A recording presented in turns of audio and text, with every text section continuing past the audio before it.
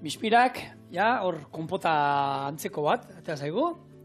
Bizkotxoa da, budinak atara ditugu, esne gaina arrotuta, hemen dauzko tutuak, karamelua paintzeko, intxaurrak, eta noski, klasiko bat ingo dunez, tamaina gure lantalde alentzako, haundi bat ingo dugu, ba musikak ere almibarretan jarriko dizkigu. Zaskenean, zeinen etxean, ez daude armairuan iskinean baten, musika batzuk almibarretan. Ni gustut, Nigo izaten zara, sukaldeetan Eh, jatetxetan beti egoten zen zerbait izalako. Etxetan batipat, ba, esan dakoa, ez? Beti esan deuna, aginaldokoak.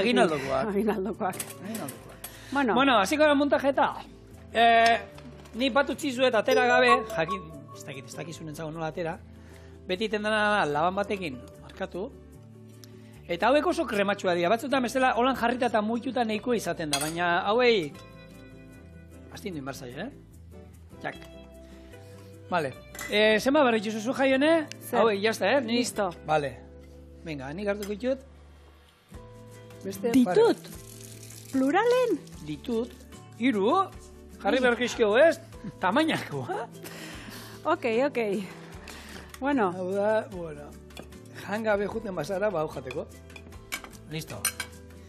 E, fruta, ba, ze, azkenien, postre osasuntxu guztia bezala, ala ere, e, hemen, lantaldeko batek esan duen moduan, kontuz izan behar da, olako postre bat egiten duzunean, almibarretako musikak erabiltzean kontuz ibiliz, honek azukre pila bat daukate.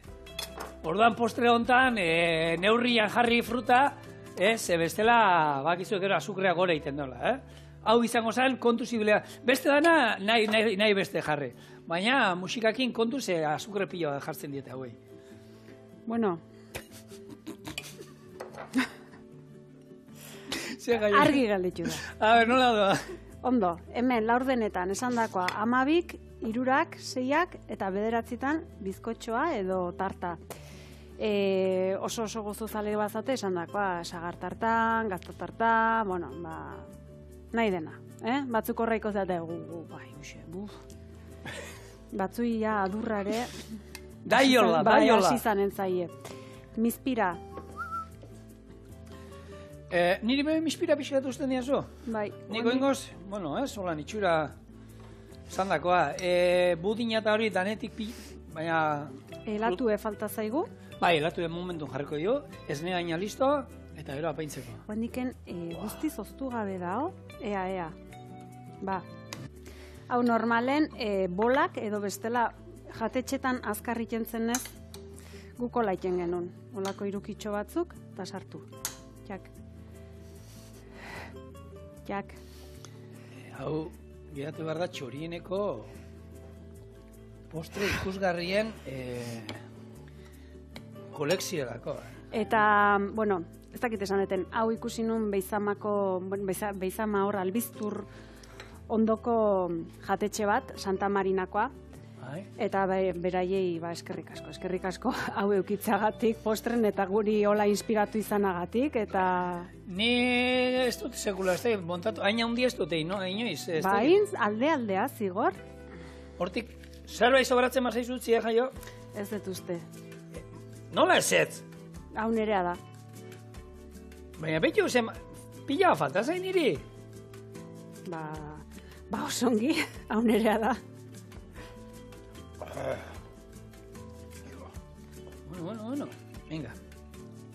Eta esan dakoa, fruitu lehor batzuk hemen, intxaur batzuk, eskenean, bueno, neurrian, hau be neurrian janda, osasuntxoa bada, ez? Guztiz, gaina hemen esan digute lantalden e, mizpira oso, ba, ez, o- Bai, ona a- dela. gehien algaltzen duena frutetatik, baina kalori gutxien dauzkan eh, fruta omen da, beraz? Jak, intxaurrek favorez. Altos hornos de Bizkaia. Bia, bia, baten bat eskuk igurtzitzen hasi da.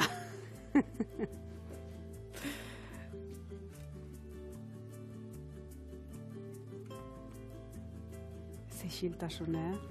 Ezin puskatuko dugu hau bitu ditu. pixka masa pixkat, saskatzeko. Tori.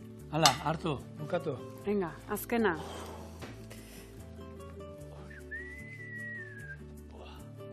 Baina, gaina, honena da, etxeko kopak zeukan honena da. Aurrena zer jantzuten, E, maian zeudenenak.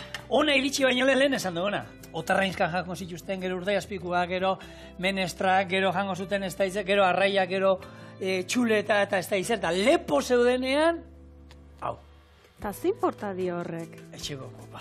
Euskaldunen fama edo izana zein da? Eh? Jale Bai. ona, jatun ona gehala, orduan, ba, gora gu. Bai, bai, jamaika ikusteko jaioa gara.